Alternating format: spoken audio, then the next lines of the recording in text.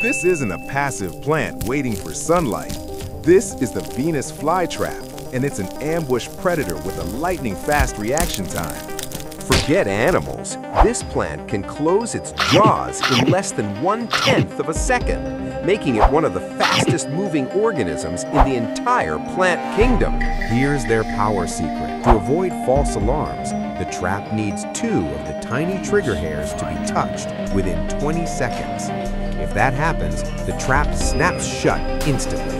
Why the hunting? Fly traps grow in nutrient-poor, boggy soil. They don't eat for energy, but to digest insects for essential nutrients like nitrogen that they can't get from the ground. Once the trap is sealed, it pumps out powerful digestive enzymes that dissolve the soft body of its prey, turning the insect into a nutrient-rich smoothie, a motionless plant with a lightning-fast bite. The Venus flytrap is the most shocking hunter in the garden